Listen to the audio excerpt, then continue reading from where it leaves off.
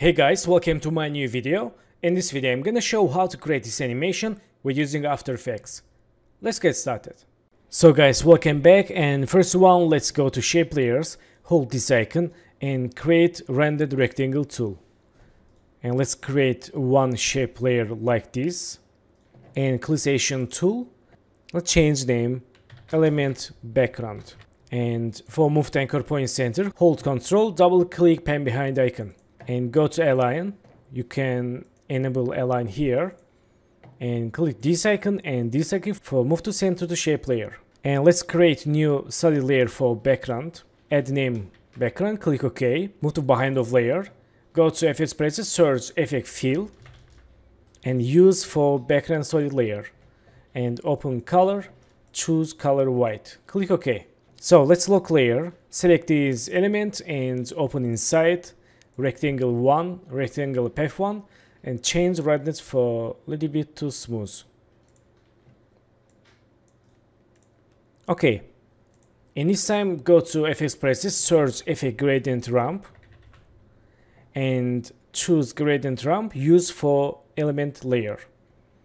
And first color let's use blue.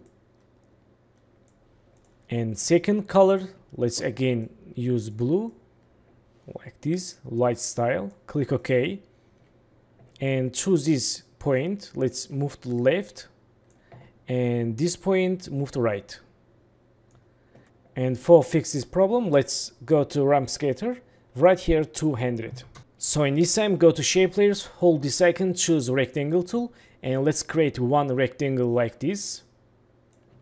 And clickation tool and let's select rectangle 1 control D for duplicate and move to right. Change size. Okay select rectangle 1 and change size like this.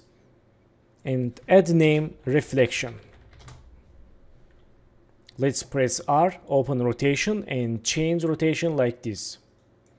And go to anchor point move to anchor point center clickation tool and move to up like this. Let's change scale a little bit like this for better reflection. And select reflection, go to track matte. If you not see this part, you can click toggle switch modes and go to track matte. Let's link to track element shape layer and select element background shape layer. Let's enable and select reflection. Go to fill and choose color white let's choose blue and move right a little bit. And press T open opacity change opacity like this. Okay that's good.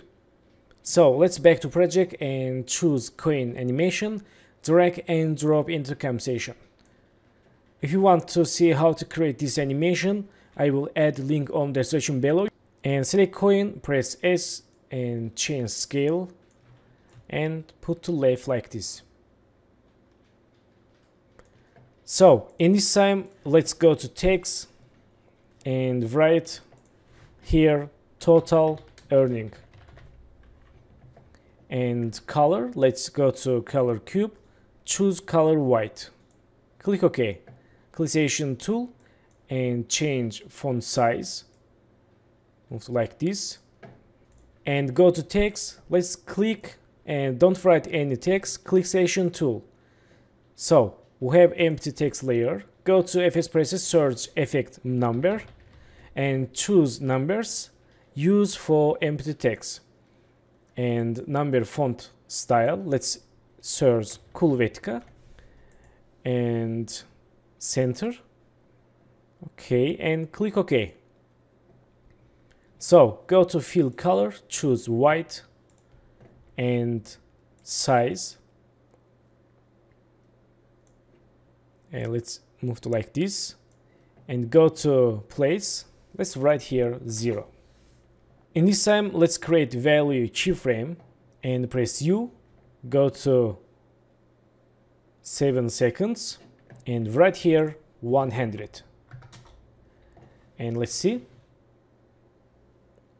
Okay choose work area and right click trim comp to work area and go to again text Let's click here and write dollar icon.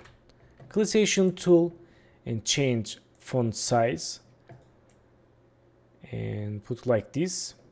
Okay let's preview animation.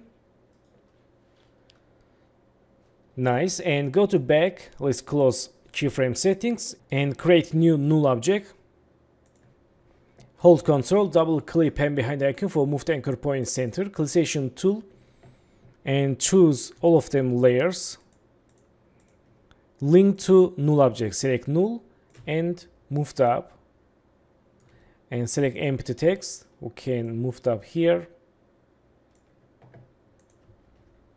And let's create shadow layer. Right click new and solid layer. Add name shadow. Click ok. Go to shape layers hold this icon. Choose ellipse tool and let's create ellipse tool like this clickation tool and open mask 1 change feather and press T change opacity. Go to FX presets search effect fill and use fill for shadow layer and go to color eyedropper choose this color blue. And choose shadow let's move right here also move the anchor point to down and center. Okay and finally select this reflection press P and let's create new path in keyframe and let's move to left. And go to here let's move to right and select keyframes make it easy. Go to graph editor make it smooth graph. Back to keyframe select last keyframe move to right and two keyframes move to right here. Okay moved right more.